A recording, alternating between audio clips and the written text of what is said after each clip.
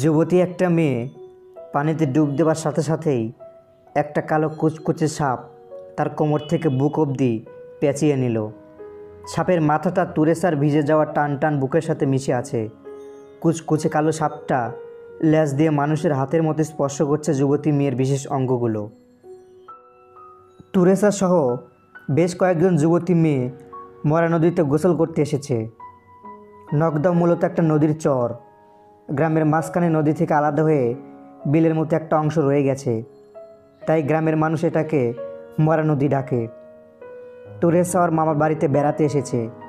মামা তো বোনসহ পাড়ার বেশ কিছু যুবতী মেয়েরা মিলে নদীতে নেমে সাঁতার কাটছে হইহুল্লা করছে।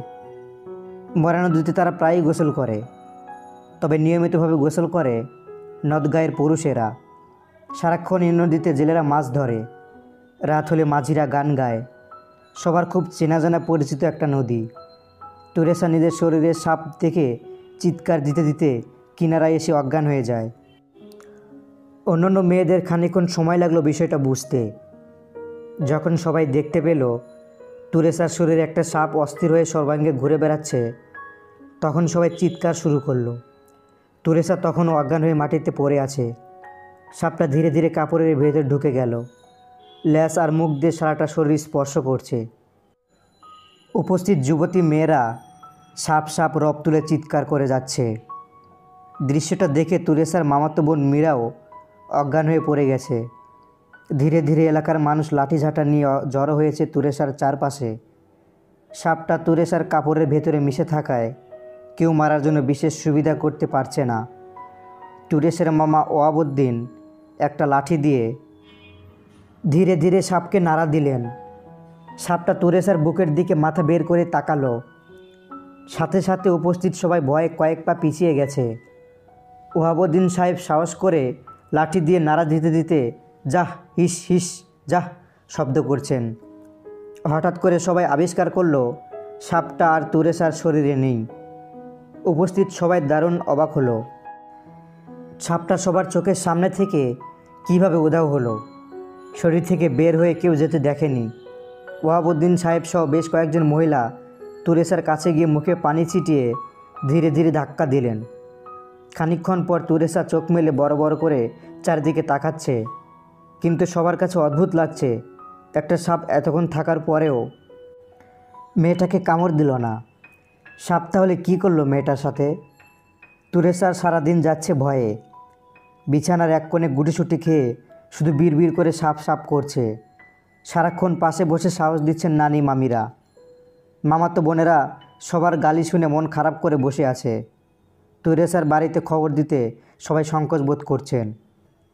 খবর না দিয়ে সব কিছু স্বাভাবিক হলেই সবাই বাঁচেন। ঘরের দরজার সিটকানিতে কে জানে অনেকক্ষণ ধরে নাড়াচ্ছে। ফকির হবে মনে করে কেউ প্রথমে যায়নি। কিন্তু সিটকানি লড়ানোর বিরক্তির আওয়াজে তুরেশের মামি উঠে গেলেন। একজন বৃদ্ধ লোক দাঁড়িয়ে আছে। কি চান এখানে? মা চারটা ভাত দেবেন? পোলাপান বিয়ে করে বউনি আলাদা হইয়া গেছে। খাওয়ন দাওন দেয় না, তাই রাগ করে কাজ কামে লাইগে বাইরে হইছি। এখন খুব খিদে লাগছে। চারটা ভাত দেন না, মা। খাওয়া দাওয়া করে কোনো কাজ থাকলে করে দিয়ে যাব নে। আপনাকে কাজের লোক লাগলেও আমারে রাখতে পারেন। শুধু খাওন দাওন দিলেই হইব, মা। ভদ্র মহিলা খানিক ভাবলেন। কাজের লোকের অবশ্য দরকার। আর এই লোকটি বলছে শুধু একা, খাওয়া দিলেই হবে। তাই এবার ঘরে গিয়ে স্বামী ওহাবুদ্দিনকে জানালেন। ওহাবুদ্দিন সাহেবের কেন জানি লোকটিকে সুবিধার মনে হচ্ছে না।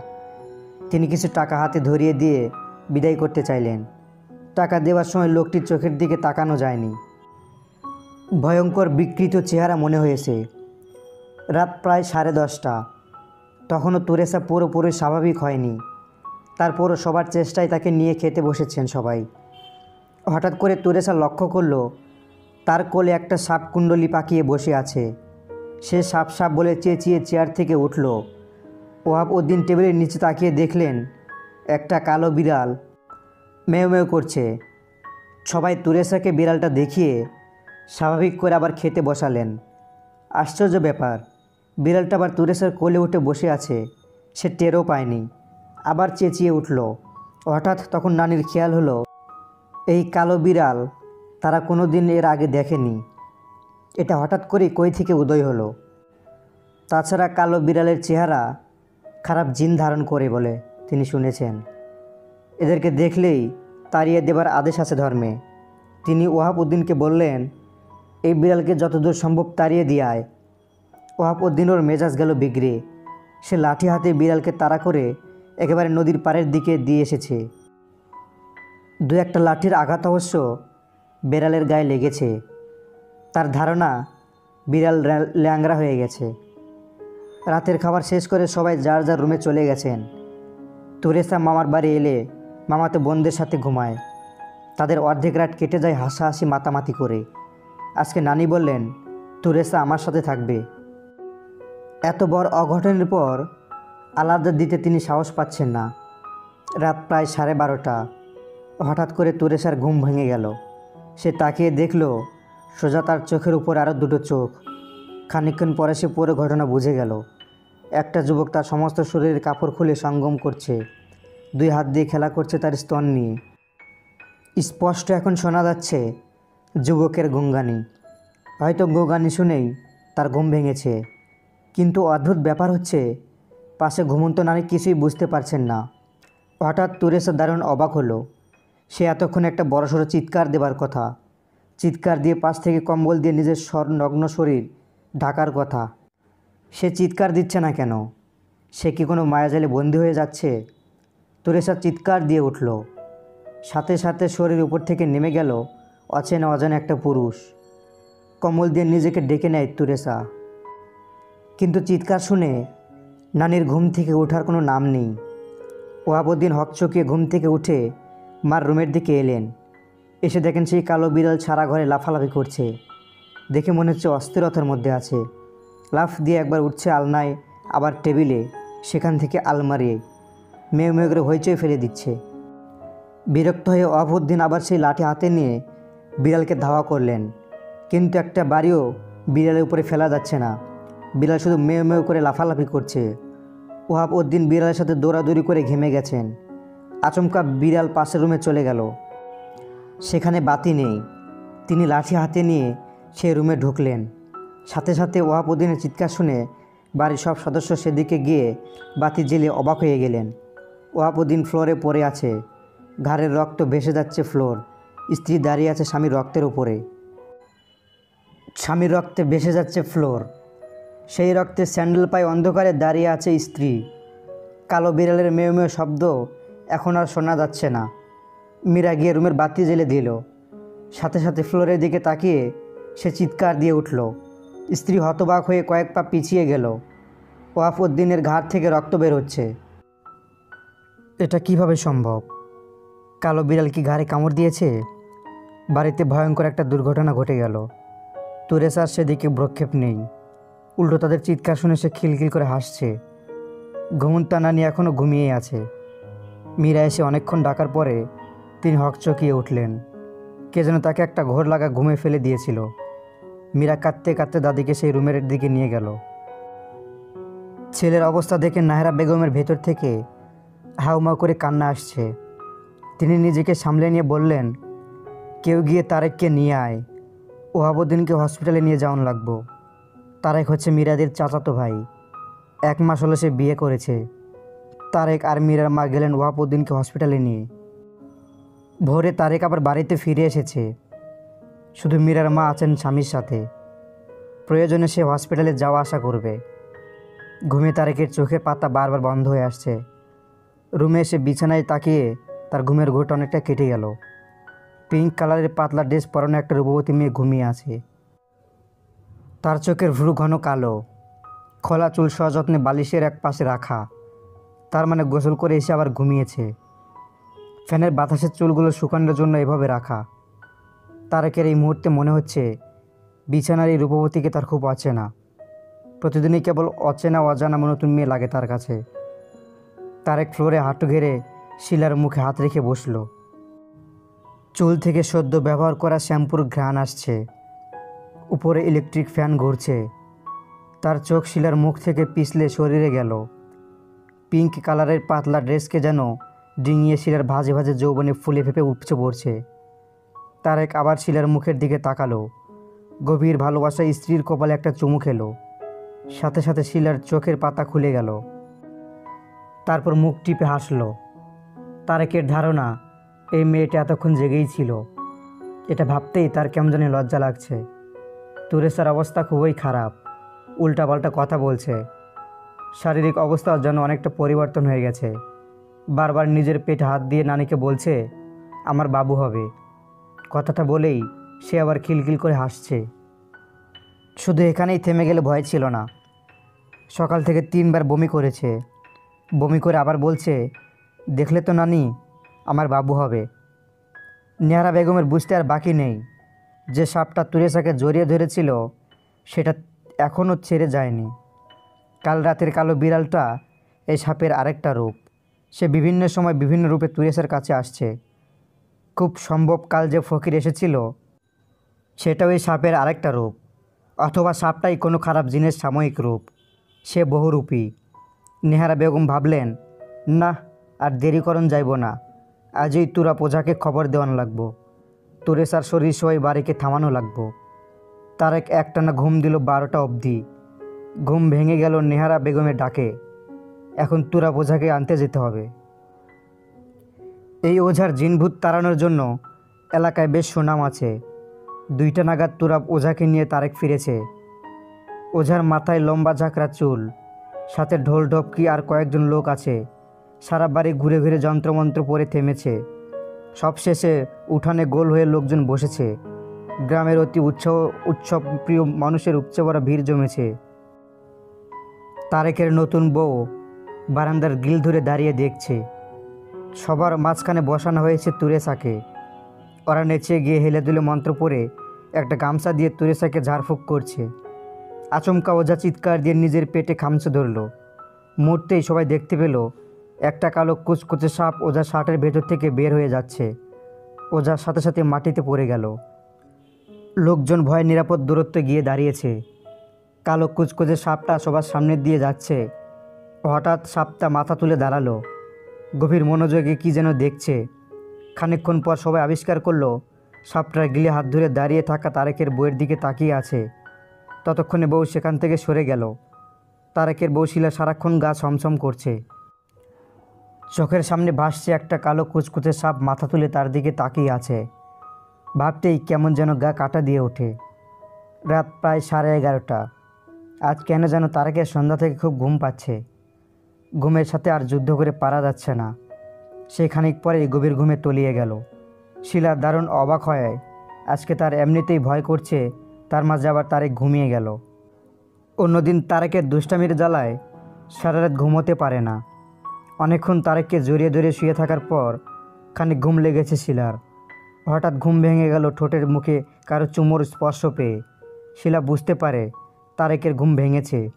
লক্ষ্য করল তারেক তাকে ধীরে ধীরে নগ্ন করছে। খানিক পরে সঙ্গমরত অবস্থায় শিলাকে শক্ত করে জড়িয়ে ধরে গালে চুমু খেল।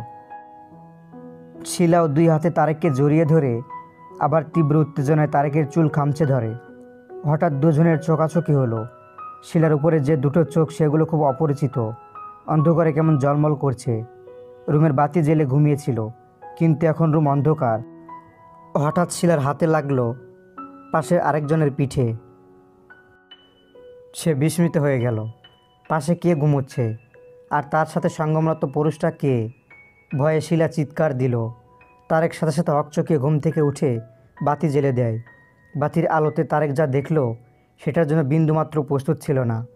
তার রূপবতী স্ত্রী পুরো উলঙ্গ, আর একটা সাপ তার কোমর থেকে বুক অব্দি পেঁচিয়ে আসে। সে তাড়াতাড়ি পাশের রুম থেকে একটা লাঠি নিয়ে এলো। এসেই দেখে সাপটা চোখের সামনে কালো বিড়াল হয়ে গেছে। গত রাতের অপদিনের কথা মনে পড়ে যায়, সে লাঠি হাত থেকে রেখে নিরাপদ দূরত্বে দাঁড়াল। সাথে সাথে সাপটা হঠাৎ করে রুম থেকে উধাও হয়ে গেল। বাতি জেলে দিলে নিজের শরীরে সাপ দেখে শিলা অজ্ঞান হয়ে গিয়েছিল। তারেক ভয়ে কাপা গলায় বলছে, শিলা এই শিলা। আমি জিন্নে মুমিন ইমান সাহেব। কথাটা শুনে ইমাম সাহেব বিস্মিত চোখে তাকিয়ে রইলেন। তিনি নীলগঞ্জের জামে মসজিদে প্রায় বিশ বছর যাবৎ একসাথে ইমাম মুয়াজ্জিমের দায়িত্ব পালন করে এসেছেন। ওনার বেতন কেবল তিন হাজার টাকা। প্রথম যখন এ মসজিদে এলেন, তখন ছিল কেবল পনেরোশো টাকা। কদিন যাবৎ ইমাম সাহেব খুবই অসুস্থ। শুধু শারীরিক না, মানসিক অসুস্থ আছেন।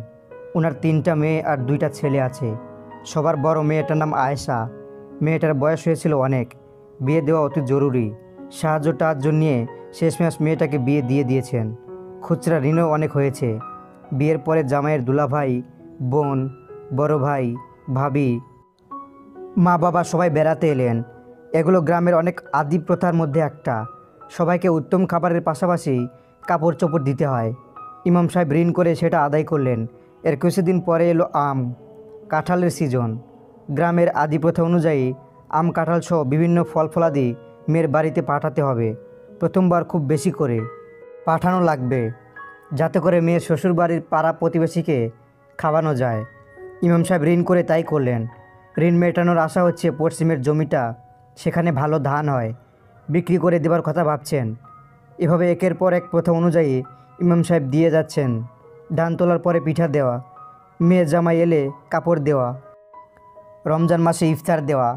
আম কাঁঠাল যখন মেয়ের বাড়িতে পাঠালেন, তখন মেয়ের শাশুড়ি পরিমাণ দেখে ভারী বিরক্ত হলেন। ফল ফলাদি কম হয়ে গেছে বলে মেয়েকে শাশুড়ি কম বেশি কথাও শুনতে হলো। রমজান মাস আসার সাথে সাথেই মেয়ে বড্ড পেরেশানি করছে। বারংবার ফোন দিয়ে মেয়ের কল দেখলেই ইমাম সাহেবের চোখ ভিজে যায়।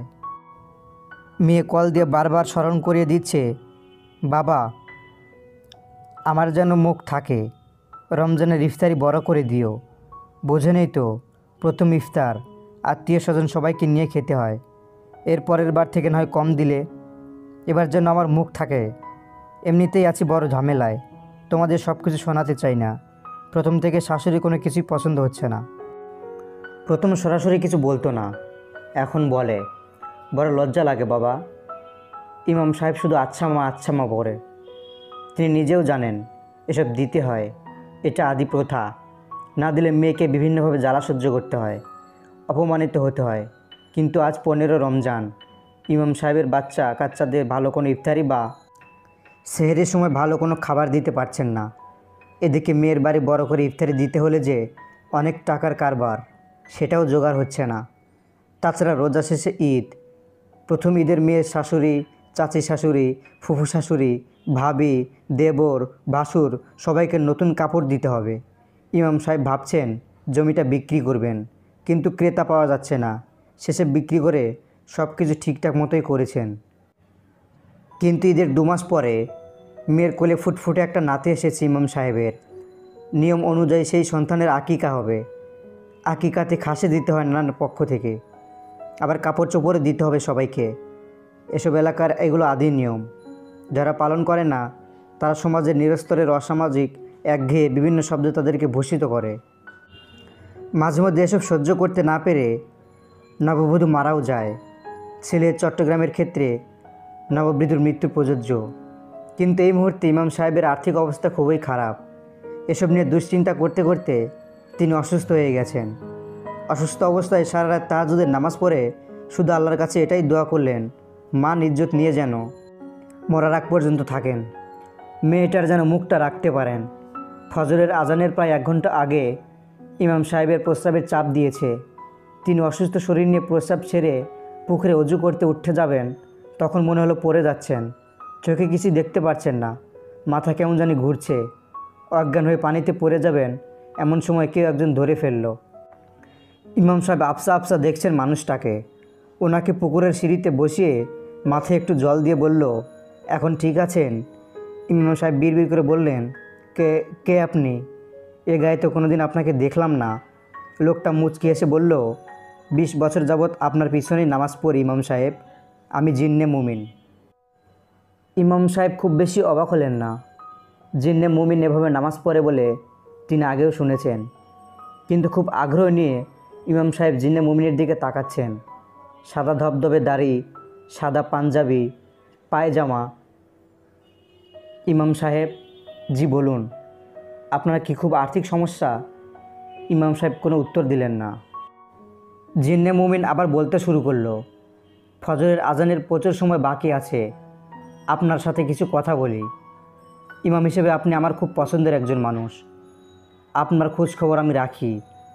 মানবের প্রতি আমার মতো জিন্নে মুমিনদের অগাধ ভালোবাসা আছে। এর কারণ কি জানেন ইমাম সাহেব? না। কারণটা হলো এই যে, আমরা জিন্নে মুমিনরা নামাজ পড়ি, নামাজে কোরআন পড়ি, সেই কোরআন জিনের উপর নাজিল হয়নি। ও হয়েছে নবী মুহাম্মদ সাল্লাহ সাল্লামের উপরে। সেই নবীকে আমরা জিন্নে মুমিনরা ভালোবাসি। তাহলে ওনার স্বজাতি মানবকে কেন ভালোবাসবো না? ইমাম সাহেব, আপনার জন্য একটা কাজ নিয়ে এসেছি। আপনার আর্থিক সচ্ছলতা ফিরে আসবে। আমি ইমামতি ছাড়া আর কোনো কাজ করব না। আপনি ইমামতি করবেন, সাথে মানুষের উপকার। খারাপ জিন থেকে মানুষকে রক্ষা করবেন। আমরা জিন্নে মুমিনদের একটা সংগঠন আছে। সেটার নাম আদম সেবা সংগঠন। সংগঠন ভালো জিনিস। নবীজির হিলফুল ফুজুল নামে একটা সংগঠন ছিল। আমরা আদম সেবা সংগঠনের সব জিন্নে মুমিন আপনাকে সাহায্য করবে। আপনি মানুষকে খারাপ জিন থেকে রক্ষা করবেন। তারা খুশি হয়ে আপনাকে টাকা দিবে। সেটা দিয়ে আপনার সব অভাব ঘুচে যাবে। আপনি আজ ফজরের নামাজ শেষে নদগাঁও রওনা দিবেন। আমরা খবর পেয়েছি সেই গ্রামের মরা নদী নামে একটা নদীর পারে বড়ই গাছ আছে। সেখানে একটা খারাপ জিন থাকে। যেখানে সুন্দরী যুবতী মেয়ে দেখে সাপ, বিড়াল বিভিন্ন রূপে তাদেরকে ভয় দেখায়, বিরক্ত করে। রাতে আবার মানুষ হয়ে তাদের সাথে শারীরিক সম্পর্ক করে। এখন অবধি দুটো মেয়ের সাথে শারীরিক সম্পর্ক করেছে। যে মেয়েকে পছন্দ হবে, তার সাথে সম্পর্ক করবে। যে মানুষ বাধা হবে, তাকে মেরে ফেলবে। আপনাকে মারতে পারবে না। কারণ, আপনার সাথে আমরা শত শত জিন থাকব। কিন্তু ভয়াবহ ব্যাপার হলো, এই জিন যেসব মেয়েদের সাথে সঙ্গম করেছে, তাদের ঘরে এক মাসেই বাচ্চা হবে। সেই বাচ্চা ভূমিষ্ঠ হওয়ার সাথে সাথে অশরীরী হয়ে যাবে। তখন এই খারাপ জিনিস সংখ্যা বেড়ে যাবে। আমাদের কিছুই করার থাকবে না। আপনি আজও এই গ্রামে যাবেন। যাবার পথে আপনি শুধু জায়নামাজ, কোরআন রাখতে পারেন। খাওয়া দাওয়া আমরা দেব আপনাকে। এখন থেকে আপনাকে একটা বিশেষ ক্ষমতা দেওয়া হবে। আপনি অশরীরী সব কিছু দেখতে পাবেন। কথা বলতে পারবেন। ফজরের নামাজ শেষেই বেরিয়ে পড়ুন। আপনি খারাপ দিনকে শেষ করেই দুটো মেয়েকে হসপিটালে পাঠিয়ে ভ্রূণ নষ্ট করাবেন। সবাই দারুণ অবাক। তারাকের বইয়ের বিয়ে হয়েছে মাত্র এক মাস। অথচ সারাদিন শুধু খানিক পর পর বমি করছে। পেটও কেমন বড় হয়ে গেছে। অবিকল অবস্থা তুলে ছাড়ো সবাই খুব ভয়ের ভেতর দিয়ে দিন কাটাচ্ছেন। এদিকে কোনো কবিরাজও ভয়ে আসছে না। সবাই জেনে গেছে, তুরা পূজা এখানে এসে সাপের কামড়ে মারা গেছেন। খানিক পরে খবর এসেছে ওহাবুদ্দিন হসপিটাল মারা গেছেন। বাড়িতে নেমে এসেছে এক আকাশ বিষাদ, যেন মুক্তির পথ নেই। এর শুরু হয়েছে সবাইকে শেষ করার জন্য। লাশ বাড়িতে এসেছে বারোটা নাগাদ। সবাই জানাজার জন্য লাশ মাঠে নিয়ে গেছে। হঠাৎ একজন সাদা পাঞ্জাবি পরা হুজুর সামনে এসে দাঁড়িয়েছেন। তিনি প্রথমে সবার বিশ্বাস আর ভরসা অর্জনের জন্য গ্রামের গোপনীয় কথা বলতে শুরু করলেন। আমাদের সামনে যে লাশ দেখছেন, তাকে কালো বিড়াল সেজে খারাপ জিন কামড় দিয়েছে, এই জিনটা সাপ হয়ে ছবল মেরেছে তু আর ওঝাকেও। ইতিমধ্যে দুইটা মেয়ের সাথে সঙ্গম করেছে। আপনাদের এলাকার মানুষের সামনে বিরাট বিপদ। এই জিন যে মেয়েকে ভালো লাগবে, তার সাথে মিলিত হবে। যারা বাধা হবে, তাকে মেরে ফেলবে। কোনো কবিরাজ রক্ষা করতে পারবে না। উপস্থিত জনতার মাঝে গুঞ্জন শুরু হয়েছে। সবাই খুব আগ্রহ নিয়ে শুনছে হুজুরের কথা। এরা ভণ্ড পীরের কথা বিশ্বাস করে, আর সামনে তো সত্যিকার একজন ক্ষমতাবার মানুষ দাঁড়িয়ে আছে, যার পেছনে আছে শত শত জিনের শক্তি। হুজুর আবার বলতে শুরু করলেন, আপনারা সবাই জানাজা পড়ে মরা নদীর পাড়ে যাবেন, জিনকে বোতলে বন্দি করা হবে। নদগারে নারী পুরুষ সব মরা নদীর পাড়ে উপস্থিত হয়েছে। ইমাম সাহেব বড়ই গাছের নিচে জায় নামাজ বিছিয়ে বসেছেন। উনি চোখ বন্ধ করে জিন্নে মুমিনদের ডাকলেন, এলাকার মানুষ খুব আগ্রহে তাকিয়ে আছে। খানিক পরে সবাই শরীরে গরম অনুভব করল। পরিবেশ, বাতাস সব কিছু যেন কেমন অন্যরকম লাগছে। হঠাৎ করে সবাই দেখল, বড়ই গাছে ঝাঁকুনি। দেখেই মনে হচ্ছে গাছে অশরীরিত ধস্তাধস্তি হচ্ছে। বড়ই গাছের পাতা আর ছোট ছোট ডাল ভেঙে পড়ছে। খানিকক্ষণ পরে ইমাম সাহেব জায়নামাজ থেকে উঠে বোতলের মুখ খুলে রাখলেন। সবাই লক্ষ্য করল, হুজুর অদৃশ্য কিছুর সাথে কথা বলছেন। খানিক পরে বোতলের মুখ লাগিয়ে তারাকে হাত দিয়ে ইশারা করে বললেন বোতলটা মাটির নিচে কবর দাও। তারপর যত তাড়াতাড়ি সম্ভব যে দুটো মেয়ের সাথে সঙ্গম করেছে, তাদেরকে ডাক্তারে নিয়ে পেটের ভুল নষ্ট করতে হবে।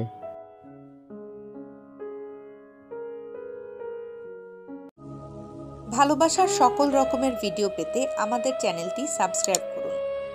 আমাদের ভিডিও সবার আগে দেখার জন্য বেল বাটনটিতে ক্লিক করুন। আপনাদের ভালোবাসার গল্পগুলো আমাদের কাছে লিখে পাঠান। আমরা তা হাজারো মানুষের কাছে পৌঁছে দেব।